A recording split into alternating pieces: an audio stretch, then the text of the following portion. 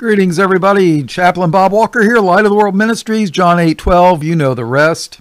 This is going to be part, well, this is going to be Ezekiel chapter 11 and continuation of the Ezekiel series.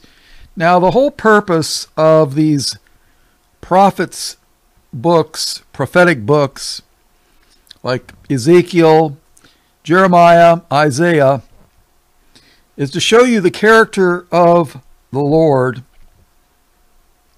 And in the books of Moses, I believe Numbers or Deuteronomy, the Lord said, Blessings if you follow me, and curses if you don't. Well, now we're into the curse mode in Ezekiel. And things are absolutely no different today. It's just instead of horses back then, uh, we got cars today. Technology changes, but the heart of man does not. There are actually people out there that'll try to convince you that the uh, God of the Old Testament and the God of the New Testament are totally different.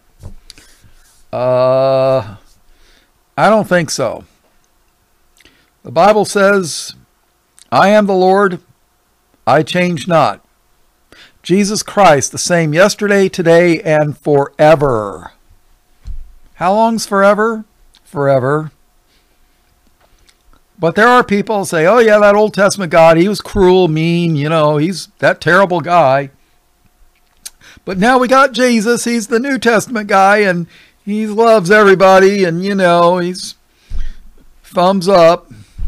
Uh, tell you what, people believe that should read the book of Revelation where it talks about uh, war and disease and famine. Things haven't changed. The God of the Old Testament, the God of the New Testament, same God. It's just uh, a lot of people make, uh, well, I guess they could say, and the church made God in man's image instead of God made man in his image. Yeah, something like that. And that's in uh, Hebrews 13:8. Jesus Christ, the same yesterday and today and forever. Oh yeah. And then you got Malachi 3:6. For I am the Lord.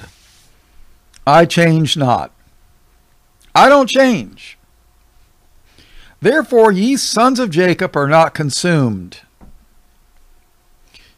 Now, English during the days of the King James was uh, what I believe they had mid, they called Middle English. You had Old English, Middle English, and then uh, you got Modern English. And Old English and Middle English were very close to German. You know, in English, we would today we would say, "I am going to the car," or "I am going to the store." In German, uh, I believe you would say, "To the store I am going," or "To the store I go," or "To the car I go." Does it mean something different? No. It's just the word order is different. Uh, sort of like uh, Yoda in Star Wars, right? Yeah. Yeah, a lot of Yiddish uh, symbolism in uh, Star Wars. Like Jedi and Yoda and all that uh, Yiddish words. Look them up. Seriously. All right, so let's get on with Ezekiel chapter 11. Verse 1 Moreover, the Spirit lifted me up and brought me unto the east gate of the Lord's house, which looketh eastward.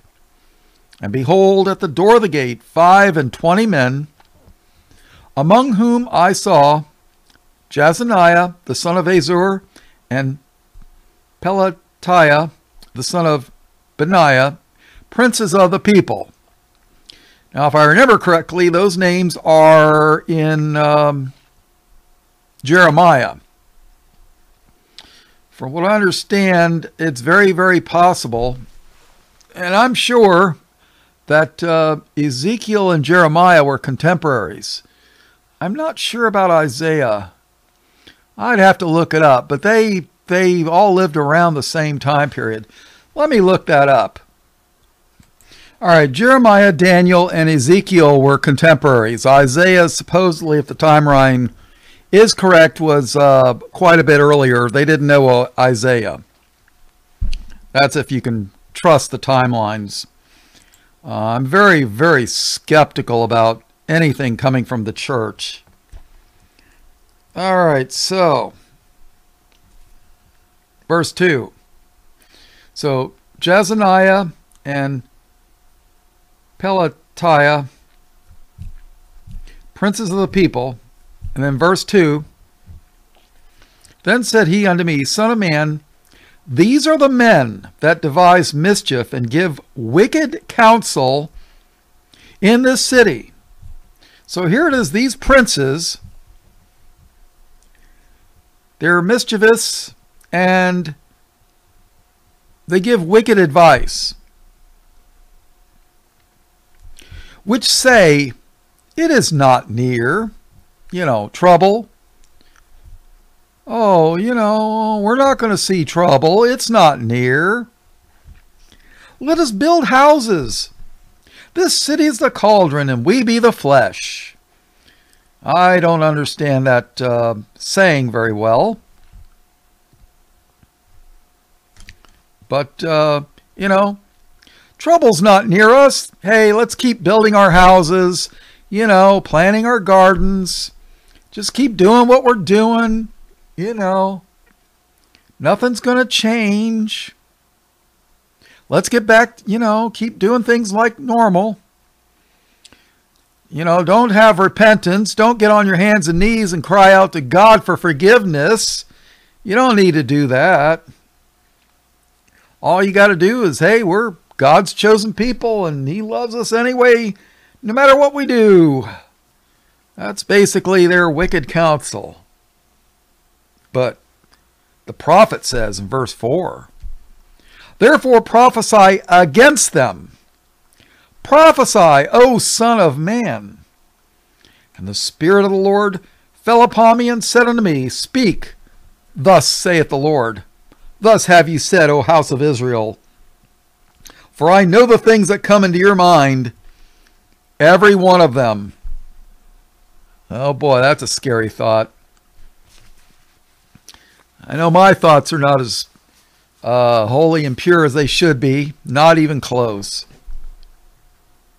Verse 6 Ye have multiplied your slain in this city, and ye have filled the streets thereof with the slain.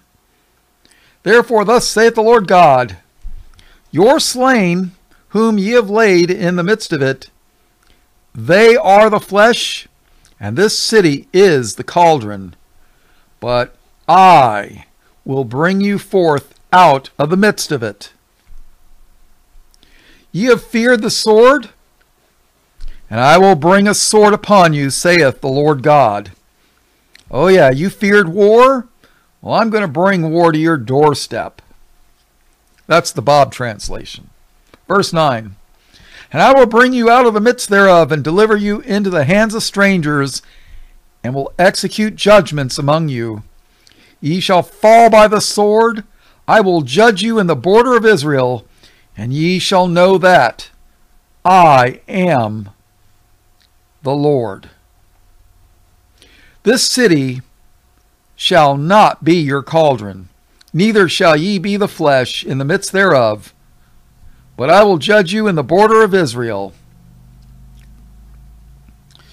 I think what uh, the cauldron and the flesh has reference to is, uh, you know, it's like a, the city's like the pot of stew, and we're going to be fed by it and nourished by it. I, I suspect that's what that saying means, but I'm not 100% sure. So, you know, the city's going to feed us. I don't know. I could be wrong. Somebody else got a better idea. Hey, let me know in the comment. Let us know in the comments. Because uh, I sure don't know everything. And ye shall know that I am the Lord, for ye have not walked in my statutes, neither executed my judgments, but ye have after the manner of the heathen that are round about you. Let me tell you something, people. God tells you what to do with witches. God tells you what to do with those that practice so dom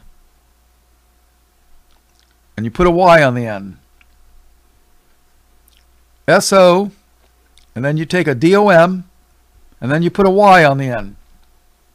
He tells you what to do with those kind of people. Like king josiah did. King josiah uh, got, got rid of them they bring curses upon a nation. You know, when I was in the army, the quickest way to get a discharge was to uh, to be one of those, and it wouldn't be an honorable discharge either. They kicked you out. Yep. Matter of fact, uh, I uh, was on a date with a girl, and uh, she joined the army, and she was in basic training, and she just she was like, "Man, this this crap is not for me," uh, you know.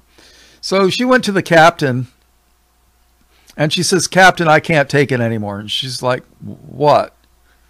She says, "Yeah, when I take a shower with all these gorgeous-looking girls, I, I just."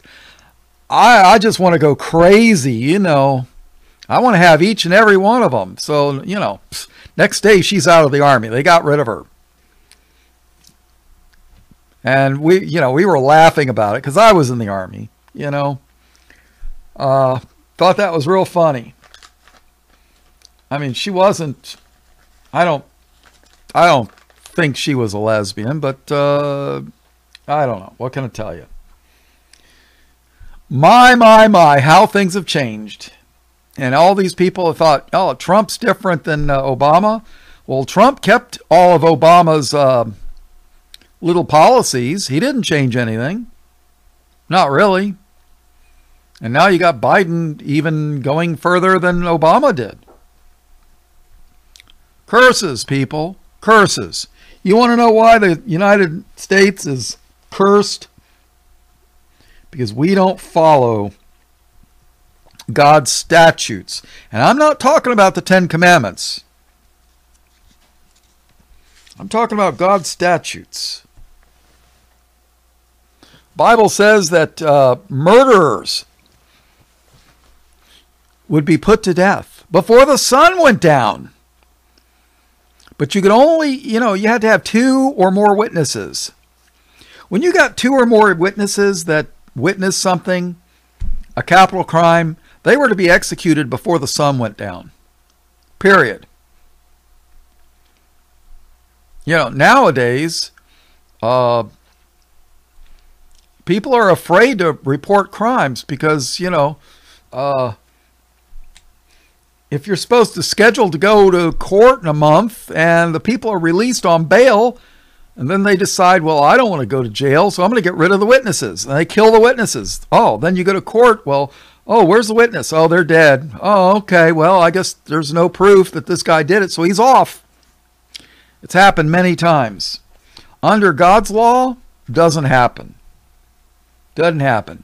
And all these Torah keepers, so called, these liars, these hypocrites, they never talk about what I'm talking about. Uh uh no, they want you to, to circumcision and they want you to oh keep the Sabbath and these holy days and you know all these little rituals. No. God's justice system works. Oh, but Chaplain Bob, what happens if uh, if you get two or three people that lie about somebody be, you know, to do something to have them put to death. Well, the Bible says if you commit perjury, whatever the penalty was that they were trying to get the other person in trouble for was to be put on them, the liars. So if they try to have somebody put to death, uh, perjurers would die, period. If you stole something, you had to repay it four times. If you didn't have the money, uh, you were sold into slavery until that could be paid. Yeah. Well, Chaplain Bob, what happens if the, they don't want to? They they refuse to do the slavery thing and the work for the people that paid the debt. Oh, that's real simple. You stone them to death, and no, you don't give them Colombian gold or uh, Turkish hash or Afghanistan hash or whatever, wherever that stuff comes from. Yeah, they get stoned, but it's not good weed. And I'll tell you what, the next person uh, that gets uh, steals and can't pay it back, that gets sold into slavery, uh, they'll say, "Oh, okay, you want me to paint your barn? No problem. What color? you know? Oh, okay, we'll take care of it.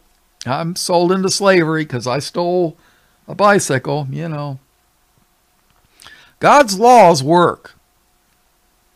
And originally, this country pretty much followed God's laws. But we don't, we're not even close anymore. Not even close. And I know I've mentioned it a bunch of times, but Harvard and Yale were originally Bible colleges. Yeah, Bible colleges. Now you got a you know who that starts with a J as head of Harvard and they got classes uh, on anal sex. I don't even want to know what the curriculum is. And can you imagine that? A college elective on anal sex? Really? Really? I think I'll pass. Yeah. Ezekiel 11:12 And ye shall know that I am the Lord for ye have not for ye have not walked in my statutes, neither executed my judgments, but have done after the manners of the heathen that are round about you. Sounds like America today, doesn't it? Or Europe or UK, you know.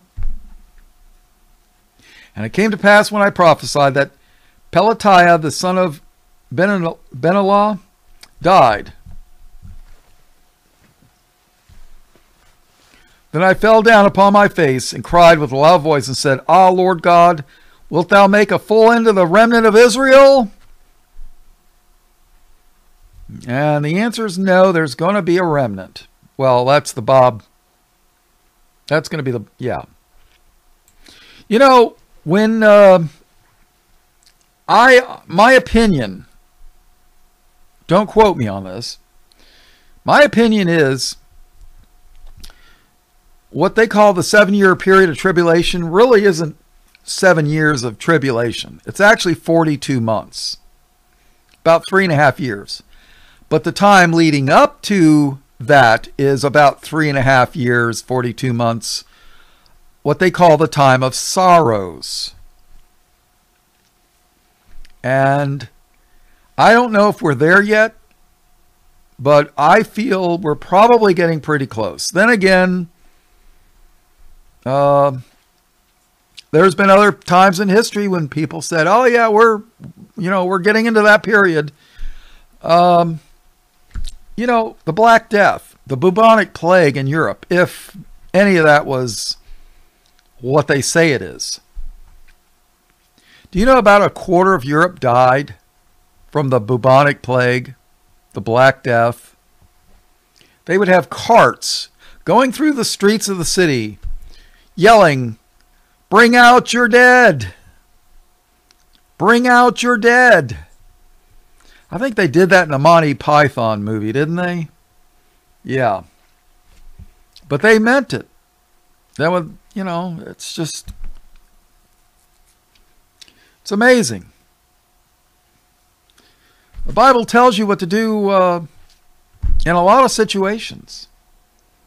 quarantining of sick people, not healthy people. Sick people.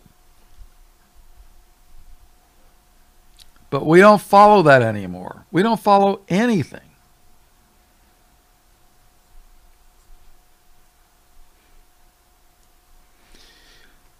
So, Lord, are you going to save a, are you going to, you know, what is it, verse 13? Ah, Lord God, wilt thou make a full end of the remnant of Israel? Again, the word of the Lord came unto me, saying, Son of man, thy brethren, even thy brethren, the men of thy kindred, and all the house of Israel holy, are they unto whom the inhabitants of Jerusalem have said, Get you far from the Lord, unto us is this land given in possession. You know, get away from the Lord. Because this land is ours. Verse 16 Therefore say, Thus saith the Lord God, Although I have cast them far off among the heathen, and although I have scattered them among the countries, yet will I be to them as a little sanctuary in the countries where they shall come. Therefore say, Thus saith the Lord God, I will even gather you from the people, and assemble you out of the countries where ye have been scattered, and I will give you the land of Israel. And they shall come thither, and they shall take away all the detestable things thereof, and all the abominations thereof from thence All right, verse 19. And I will give them one heart, and I will put a new spirit within you, and I will take the stony heart out of their flesh, and will give them an heart of flesh. So there, God's going to give his people a, a heart transplant from a stony heart to a heart of flesh. Where do we read about that? Book of Hebrews. You notice uh, the Hebrew roots and Torah keepers, they don't even know the book of Hebrews exists. Because if they did, they wouldn't be talking all that garbage. Hebrews 10:16 This is the covenant that I will make with them after those days saith the Lord. I will put my laws into their hearts, and in their minds will I write them. I will put my laws into their hearts, and in their minds will I write them. How about Hebrews 10? I'm sorry, Hebrews 8, chapter 10. Uh, Hebrews chapter 8, verse 10. Hebrews 8, 10. For this is the covenant that I will make with the house of Israel after those days, saith the Lord. I will put my laws into their mind and write them in their hearts, and I will be to them a God, and they shall be to me a people. Uh, you know, in the book of Hebrew is quoting Jeremiah 31 33. But this shall be the covenant that I will make with the house of Israel after those days, saith the Lord. I will put my law in their inward parts and write it in their hearts, and will be their God, and they shall be my people. See, Torah keepers are a bunch of liars and hypocrites. Oh, yeah. And we know who's behind them. Yeah. See, the Hebrew roots people, they don't want uh, the law written in their hearts. They want the laws written on the tablets of stone. That's what they want because they're the. Uh, they've been listening to uh, rabbis and not the Spirit.